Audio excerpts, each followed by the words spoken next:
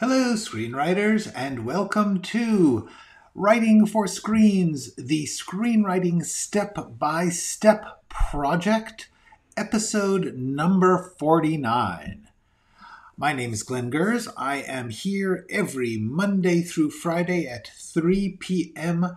Pacific Standard Time, if I can be, to work on a pilot script uh, from beginning uh, rough idea to final script so that you can look over my shoulder and get a sense of what this process is.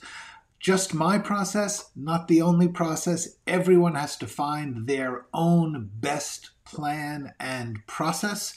But I'm hoping to just take the the voodoo out of it by uh, showing you that it's just work. It's just a, a mechanical and creative uh, task that you can take on and adjust to your own needs and goals and vision.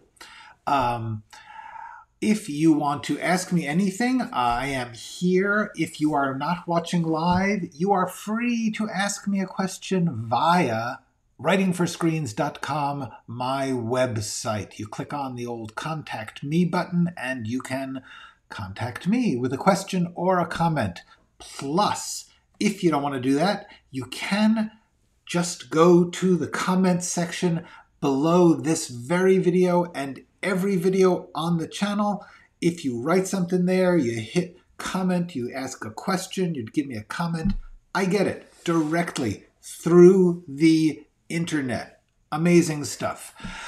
So I will answer it uh, as best I can there, here, however it works. There's a whole bunch of you out here. Hello, hello, hello, 99 Precinct. Hello, Maria. Hello, Matt. Hello, Dream Phaser. You made it. wow. Hello, Angelo. And hello, Foam Heart. Uh, a lot of regulars here and some new folks. So glad to see you all. We are here to work, so I'm going to get right to the work uh, because I had some ideas. So I want to tell you about that. Um, uh, last night, going to bed. Um, not, I, I don't like to work at night. I got to tell you this.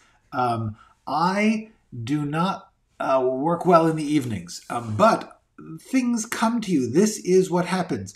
I was thinking about the day to come. I was going to bed and I was uh, literally about to get into bed and I was thinking some thoughts uh, about what needed to be done.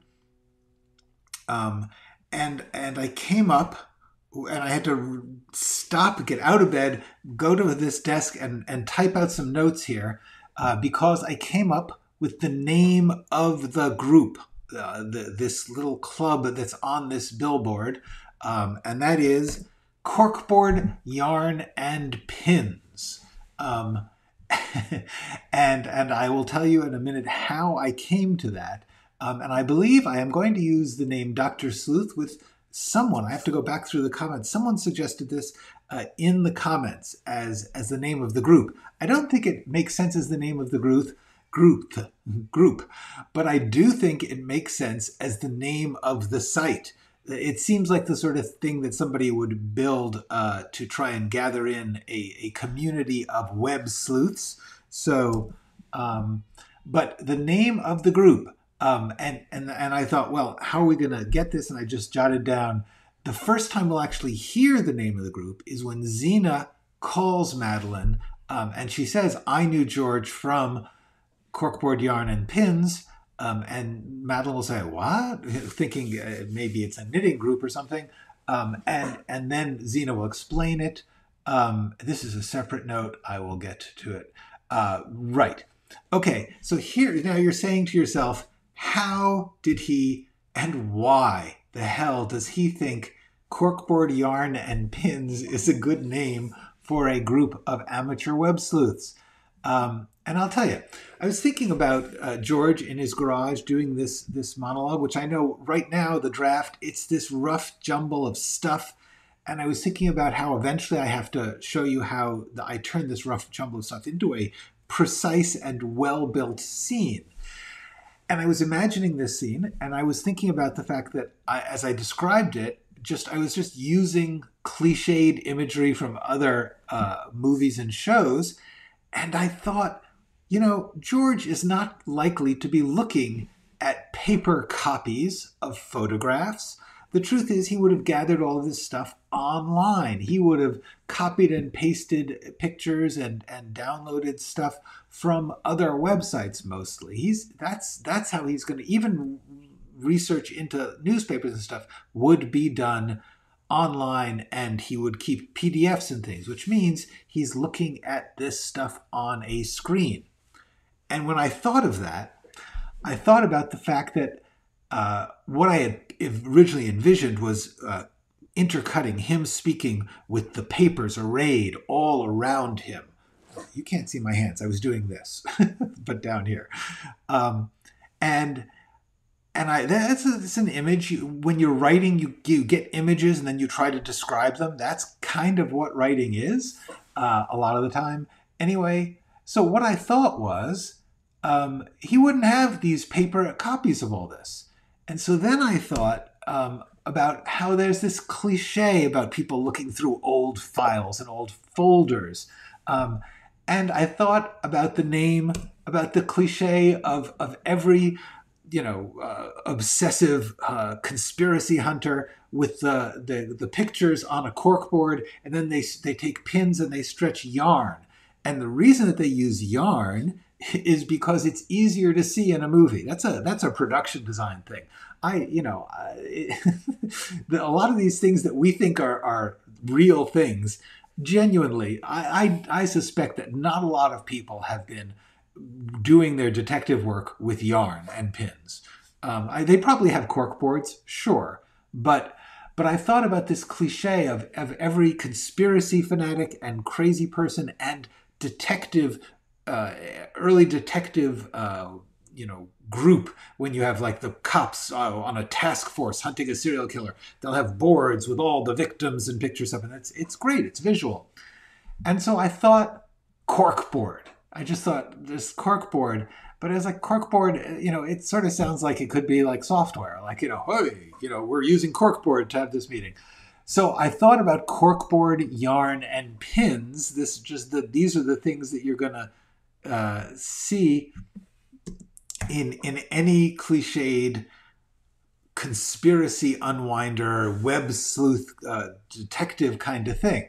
So I thought corkboard, yarns, and pins, and and here's the thing, uh, it it just made sense. I knew, I just thought, oh, I like that. It's just uh, it wasn't easy. It wasn't uh, detective-y. It was kind of self-conscious. Like these people in this group know that they're doing this cliche of of the of the conspiracy hunter, um, and I liked that. I liked the idea that you had to to there was a certain amount of self-conscious humor to it um, because remember, this is not supposed to be an utterly grim affair. This this story, um, and also it just it just was.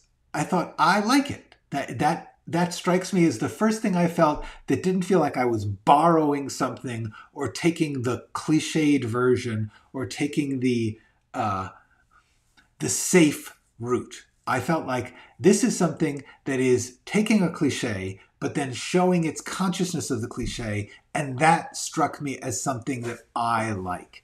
And this is really important.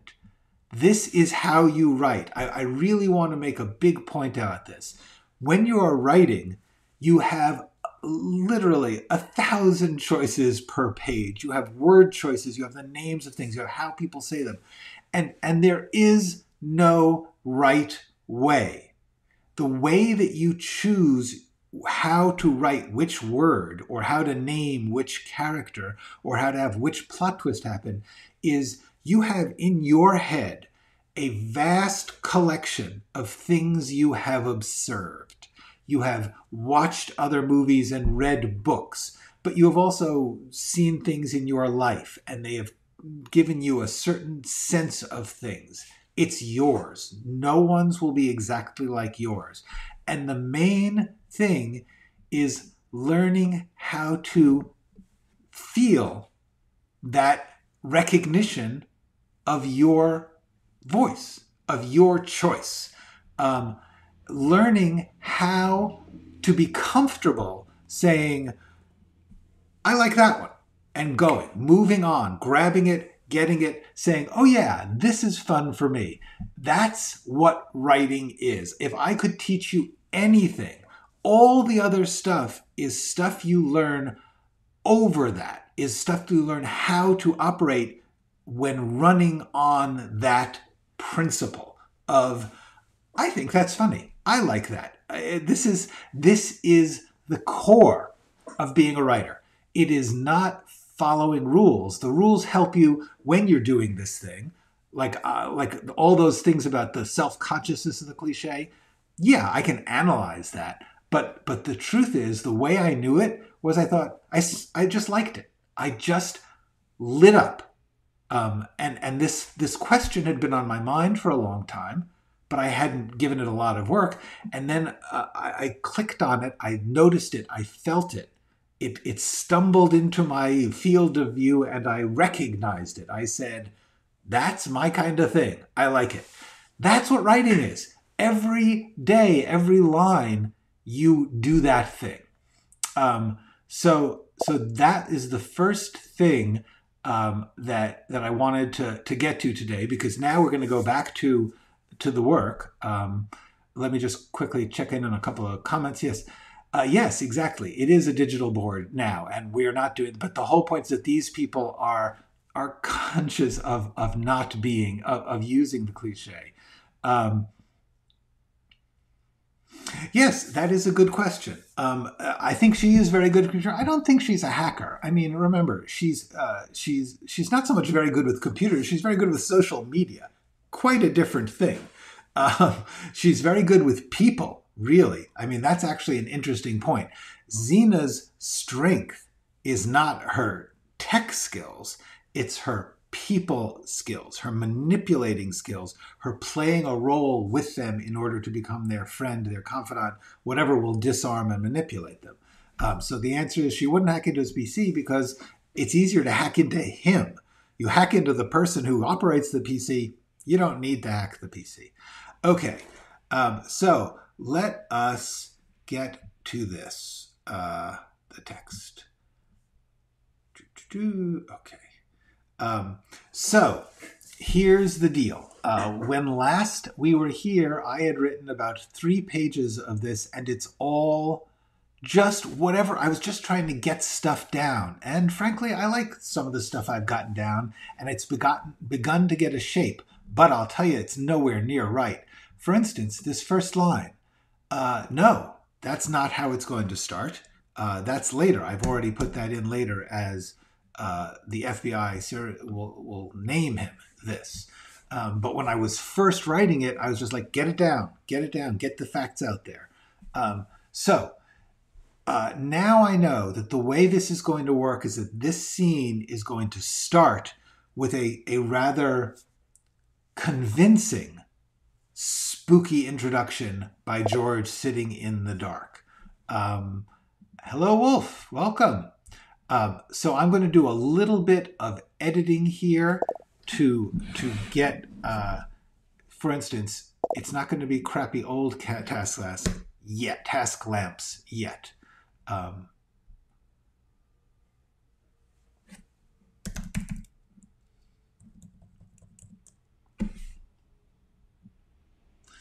Um,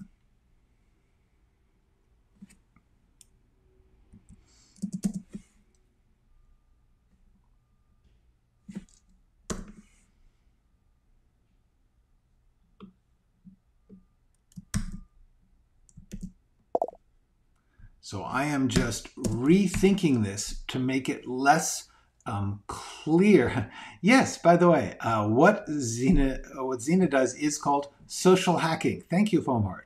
Um, so uh, okay, so what I'm doing now is, and and you're going to be seeing a hunk of this, uh, a fair amount of this. This is writing. this is the the other part where you're not just like grabbing inspirations and and feeling your voice. There's a lot of just clunking around words, trying to get them. What I'm trying to do is hook people in to the storyteller, George the storyteller. And then what I'm going to do is having hooked them into the storyteller and the story he is telling, I am going to um, un, uh, disappoint you step by step after that. Um, but for the moment, um, uh, and this is going to change again too.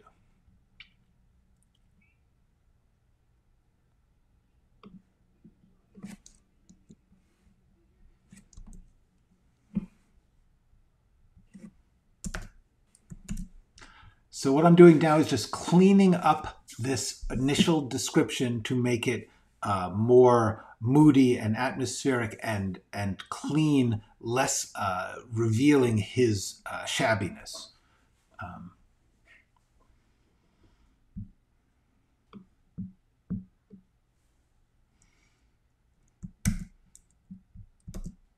and this is kind of a, a trick. You know, you intercut you you um, you give sections of description and sec- when someone is speaking um, in order to break up a monologue you can uh, take little bits of description and put them in between sections of the speech. It's a trick but it works. Um, in general try not to have passive verbs is. Um, they're really easy Uh, it's really easy to write George is speaking, but George speaks is more is stronger. It's more involving.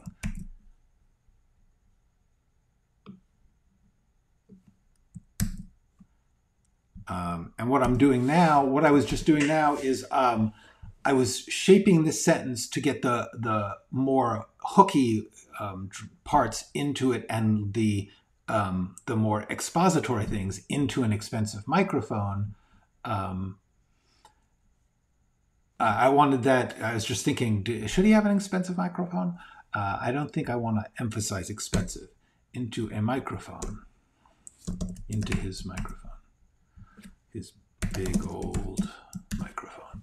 Um, but the main thing is I want to get George speaks quietly, intently, dramatically right up there at the beginning of the sentence to hook you in the way his voice supposedly does. Um, and then what I'm doing is I'm breaking up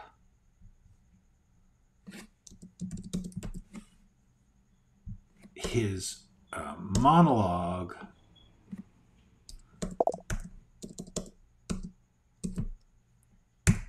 no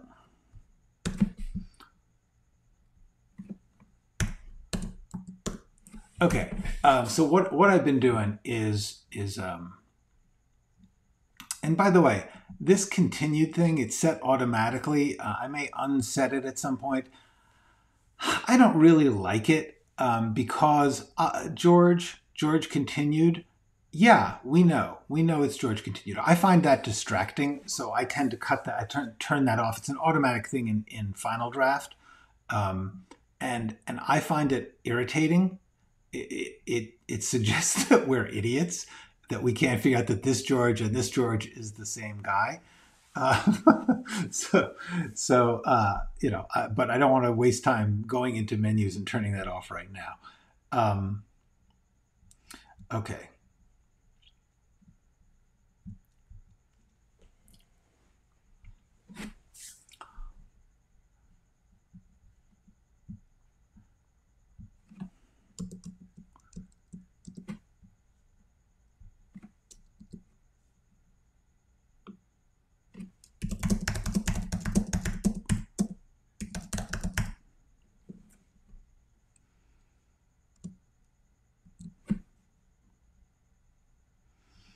Um,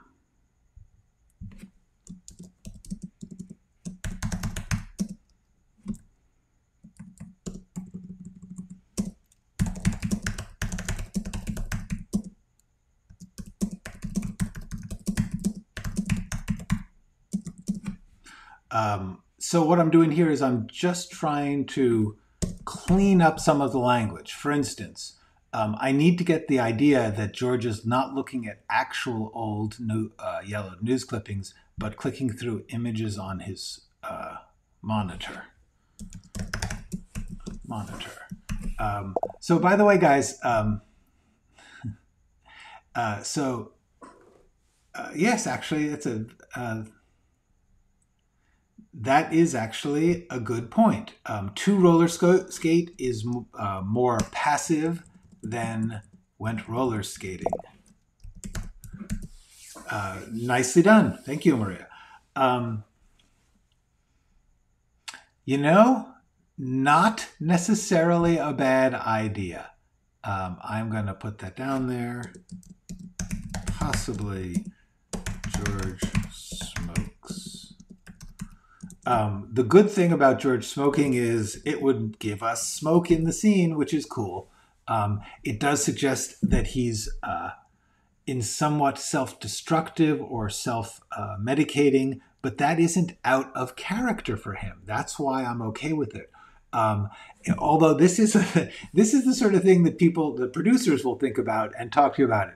That I believe will give it an automatic R rating uh, because they are really trying to make smoking not glamorous, so they try to discourage smoking on screen. So I believe smoking has joined the things that will um, that will become a warning uh, on ratings, um, including streaming ratings um, and stuff. So I don't know. Uh, I'm not going to worry about that now, but it's just one of those things you don't know. It's just like how many uh, you're allowed a certain number of curses on cable TV, um, stuff like that. It's in my mind because I'm an old hack who has done a lot of this stuff. Um, anyway, so um,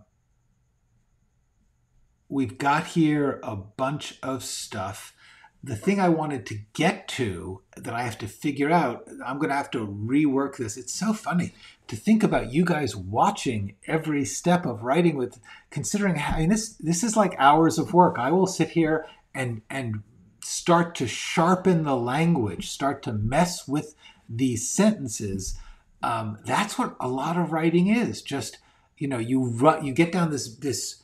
Sorry, I, I'm reaching out and you can't see it, so I'm trying to reach so that you can see it. You get this, um, you get this stuff uh, jumbled up on your screen. You get you get everything you can out onto the page, but then you have to start to craft it and figure out how much can they take. How are you steering their eyes? Um, okay. Um, you know, I, I don't really know enough of it, and I don't think anyone should worry about it. Um, sometimes I'm just going to talk about stuff because I'm. this is a weird experiment. What we're doing here. Uh, people don't usually write with an audience, and I I got to tell you. So you're just. I'm trying as best I can to just open up my head and let everything out, but some of it's weird. Um, hello, Orfe.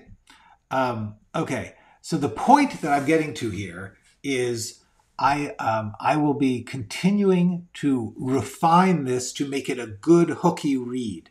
You don't want to make your first few pages so dense that they make somebody feel like they don't feel like reading it. That they look at it and they go, "This is just going to be a lot of work." You kind of want to you want to hook them in with a couple of, of relatively clean, simple things and and build it if you can. Uh, you know, there is an argument to be made for a big, dense description at the beginning. Um, I am not going to say don't do it. I am not going to say, you know, this is part of what I was saying before. There are a, a million ways to write something. And, and you have to feel confidence and conviction and fun with what you choose. Some people will like it, some people won't.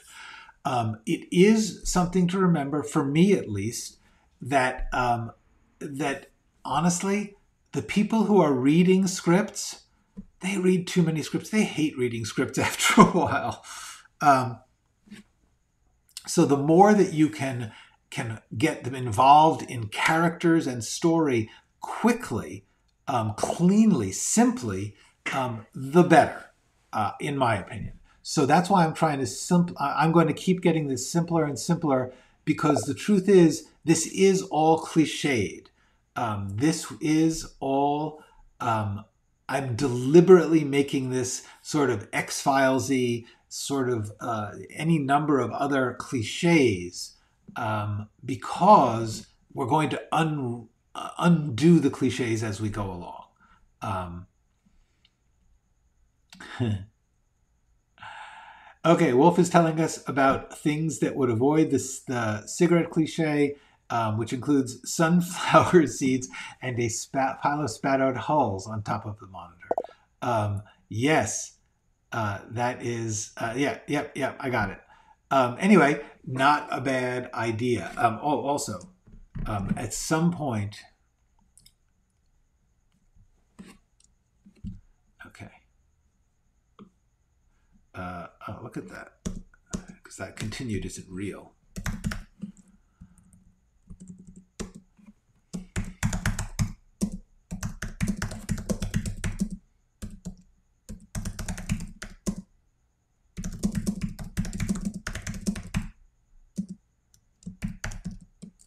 and hits. Oh, I'm sorry. I'm going to read this out loud so you know what I'm doing. Uh, what I'm going to do is um, then hits ominously for a second. Then hit stop on his recording. Satisfied breath and opens of water. He drinks deeply. Eh, too many deeps. He drinks a big swig. Thinks and then sets it down and starts recording again. Okay, the reason I'm doing this is because what I decided here's a, here's what we're doing. We've got this this one hunk of a sequence where um, George is going to tell us a story, all alone in the dark, um, and that is that is the core of this scene. George telling us about the thing, and he's going to say, um, "Oh, by the way, I'm going to move." Uh, the symptoms of his death um,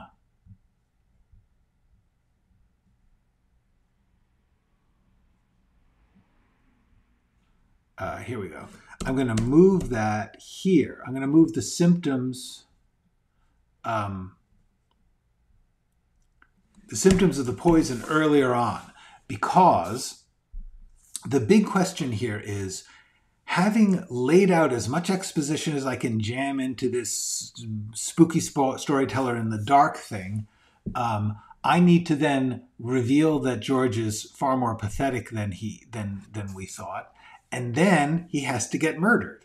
Um, and one of the questions is, how does he get? What exactly kills him? Um, and so he's going to walk out. He's going to go to his kitchen. It's going to be a little sad. Um, and what I'm thinking, what I was thinking was, do we watch him make a sandwich then? Uh, this is this is long. You know, like we we were hooked for a while, but I think we're going to get bored. Um, so what I think is the water that he's drinking, or his tea, or whatever it is that he's going to be drinking while he works, he's getting poisoned already, and we just don't know it yet. Um, so that the, as soon as he walks into his home, he starts to die.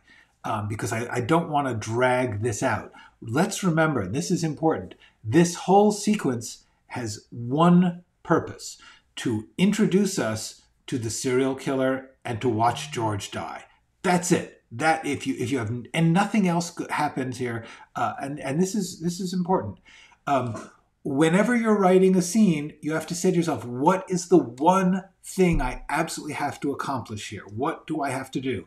in this opening sequence, we have to introduce the serial killer and we have to watch George die. That's the point of this whole sequence. Now, George is never coming back. He's just somebody we're going to talk about, about how he um, did these things that Zeena knew about, that he was married to Madeline, but he's over. And therefore, we don't want to get too into George. it's so tempting to start to really get into George, but George George is a one scene character. He's a guy who we're going to hear about, but the truth is he's a victim. He's one of a pile of victims. Um, so we can't spend too much time uh, with that. Um, George goes in. Uh, ah, don't want to do that. Um, exterior. George's studio. Continuous. Um, this is just a little thing. By the way, continuous is just something you should get used to. You use it a lot. Continuous means he opens this door, he walks out, he goes across the thing. That's continuous. These these scenes are happening continuously, and that time notation is continuous. Um, so uh, instead of saying day again or something, because that would make, make, you might think, oh, it's a different day. Uh, continuous tells us what we need to know. Um, also, it helps all the departments because they say, okay, he's in the same character, the same costume, etc., from the last scene. Um, okay, the point is, George walks across his shabby backyard toward his rundown house. Um, I- I'm just going to do that from the interior. George's kitchen. Uh, George lets himself in. The door to from the yard to the kitchen is uh, swollen a bit, and he has a hard time getting it to close. As he goes to do something, which I haven't thought of yet, he gets a funny expression on his face. He slows, sticking his tongue out a bit. It feels fuzzy, thick. His throat is closing up. He's getting dizzy. Remember all the things that we described already. George recognizes what what is happening to him. He was just talking about it. He is the um, feeling the toxins within. Uh, none. By the way, just in case you're wondering, none of this is going to stay. This is just me trying to get stuff out. Uh, get stuff out of your head and into words. Um, Ellen, hi, a new a new person. Yes, fly on the wall. Welcome. Um, uh, one of the rare times I will just let the fly stay on the wall. Hello, all you flies. Um, so what I'm doing here is I'm just going to say he George. Oh no. Oh no. he staggers a bit for the wall landline telephone, but his already somewhat paralyzed fingertips cannot grip the sleek princess phone. And grip, not grip. It falls to the linoleum floor. No, no, no. It sounds more like nah, nah, nah, because he's already uh, paralyzed in the mouth and throat. He's wheezing. He's gasping.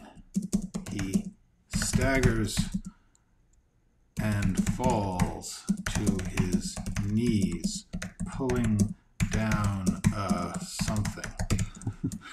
um, okay, so here's the deal. What I'm just doing is I'm trying to get so the the drama, get get the feeling, start to get the flow of of of what, what I'm going to be trying to do, which is get the reader to go, oh crap, he just was talking about this and make it clear enough. Um, and, and there's no reason to not editorialize. I am allowed to say what he is thinking. That I, you are, uh, this is something that people say, you know, don't ever write anything the camera can't see. Well, here's the thing the camera can see George acting. so, so he needs to know what he's acting. So I am allowed to write what he's thinking, and then he will act like he's thinking about that, and the camera will see it. It's legit. Don't let people tell you that you're not allowed to write what people think and feel in a screenplay. You are. I say so. If you if you anyone gives you a hard time, tell them to talk to me. Okay. Um, so, well, we so what I'm doing here. This is four pages. Um, I don't know if this will end up being four pages. It might because it is a big a big opening scene. But what I'm just trying to do is get get the shape of the of the sequence, which is talking in the dark, opening up, walking, poisoning. Um, and so so now I have done that. I have I have begun to give a shape to this because before I didn't really know how I was going to get to the poisoning part. I just knew that I was going to get there. Um, and and at that point, at this point, I want to take a second to get into another note I had um, because it relates to this, which is um, I got a I got a note um, from a, guy who who gave me. A, I'm I'm going to read some of it, but I'm not going to put it all up here. It's it's um, oh I just did put it all up there. Sorry.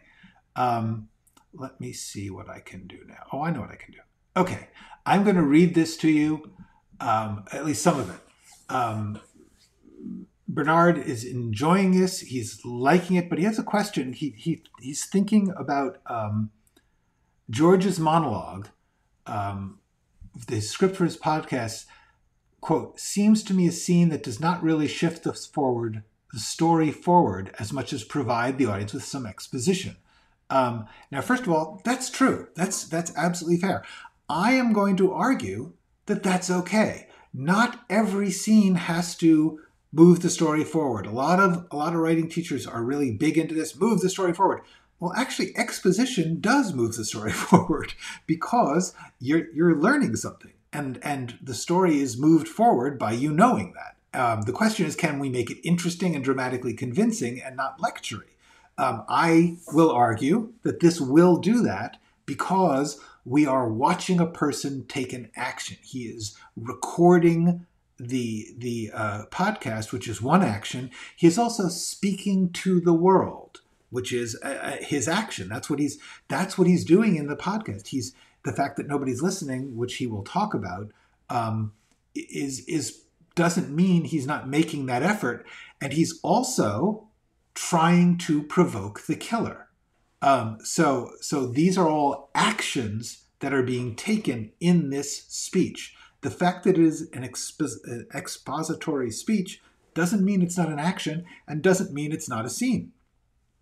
So, um, but but Bernard's point was, couldn't this monologue be transformed into a dialogue with another character, as George argues for his account? Um, such a back and forth then might tell us more about George, his goals, and his character. Um, as his account, as presented, has no challenge, no obstacle, um, and so um, he achieves his goal without any struggle. Um, does that not fly in the face of the first rule for drama? that the need for every goal, every want to be opposed by someone or something. And I thought this was really important to discuss because that I don't think that is the first rule of drama. I think it's a rule of drama. It's nice to have things being opposed, but you don't have to. There are other things you can do. The more that you take in of different types of work, the more tricks you learn. Um, one of the tricks is that sometimes you can have someone making a speech um, and and and that speech is an action and so therefore even though it is relatively unopposed un, un um, there's no conflict it doesn't mean we will not be involved because we may recognize in this case, I believe I can make it so that, uh, especially because we are just meeting, the, the movie is opening with a speech, um, and and this speech is telling us about a, a monster, and so I think that there's a natural hook there.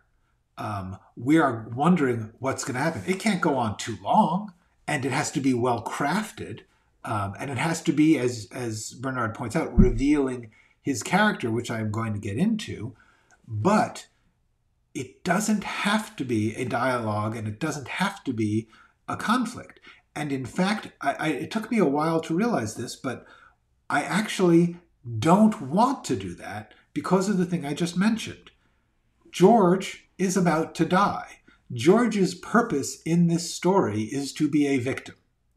and we are spending a little time with him because his uh, backstory is going to relate to a main character, Madeline.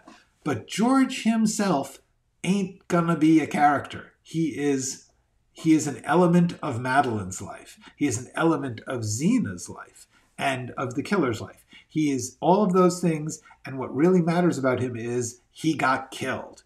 So I don't really want to get him all hooked into a scene because that will mislead the audience into thinking he's a character.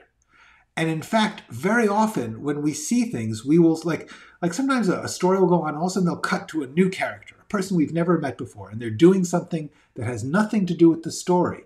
And that that's in a way the the film, the author's way of saying, here's a new thing, get ready, it's going to mean something. But I'm deliberately confusing, withholding, uh, puzzling you um, because I'm going about to kill this person. So when we meet that, like if you were watching a story and all of a sudden it cut to a character you'd never seen before, and they go and they buy their dinner, and you watch them step by step buying their dinner, you would be working, you would be looking for clues. Who is this person? What do they have to do with this story? And then if they did something like, you know, dropped something and hid the the mess of the dropped thing, we go, ah, that, that must this must be important. The point about all this is that very often it's a setup to a reveal. Uh, in this case, the reveal is this guy's a victim. He's gonna be dead, um, and that's really the fun of this. So, so I, I, um, I have seen this happen a million times. I know how to do it. Um, I am confident that it is the right way for me to do it. It's not the only way. Yes, we could do a great scene where George is arguing with someone about how he's handling this. That would be a terrific scene. But A, I don't feel like it. I'm following my feelings. I, that seems like a bad thing to say. It seems like, you know, ooh, you know, you can't just say because I said so. But in fact, you can. I'm working on a video about this. Because I said so is not an acceptable mode of behavior, uh, and yet it's crucial to being a, an artist. You do stuff because that one seems better to you than the other one. It just does, and and you have to be careful depending on the power relationships um, uh, and a lot of other things. If somebody says to you, "I don't think you should do this," and you say, "Well, I think I should because because I said so," that may not be a good idea. But when you are working on the first draft, when you are working alone before you have gotten anything, you're allowed to choose that way. You're allowed to say, I feel like it. Um, and in fact, I would urge you to take that feeling seriously. Um, if you if you can't imagine another way, like I I get what Bernard's saying. I I can see that scene. A part of me actually worked on it a bit. I was like, hmm, should I really have this be a scene? And then I and then I thought, no. And my instinct was, I don't want to legitimize him as a character. He's not a character. He is a, a, a guy being set up to fall in in the first five pages of this of this script. Anyway, um, so that's uh, by the way, uh, Bernard legitimately argues um, George's monologue echoes Barbra Streisand's in The Mirror Has Two Faces. Um, and, and, and ouch, because while The Mirror Has Two Faces is a script uh, by a guy named Richard LaGravenese, who is a magnificent writer who did The Fisher King. But then shortly thereafter, he did The Mirror Has Two Faces, and that, that movie is just really hard to watch. It's not great, um, in my opinion. Um, there are good things about it, um, but but yeah, Barbra Streisand does this marvelous speech, and it must have looked so juicy on the page, um, in which she is interpreting um, interpreting literature because she's a, a, teacher, she's a college professor, so she does this class, and it's a it's a great speech actually, and and it functions properly. But there's something about the film, and I believe it is how Streisand directed it. I don't actually think it's the script. Um, I think that that she can be a magnificent director, but in Mirror Has Two Faces, it's just not working for me. Uh, everyone is entitled to their own opinion. That's what makes horse races. Uh, if you care about horse races, it's an old expression. Forgive me, I don't actually like horse races.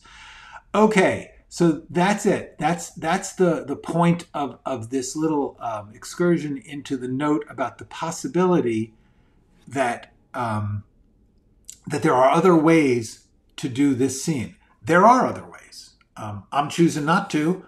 Um, if somebody, if I was writing this and a studio executive bought it and said, "We don't like monologues at the beginning of our movie. You have to have a scene," I could write a scene. That's fine. Cool. I it could it could be fun. But I'm not going to do it now because this is my first draft and I get to do what I want. Um, okay, brief notes and questions. Uh, a. Hossein.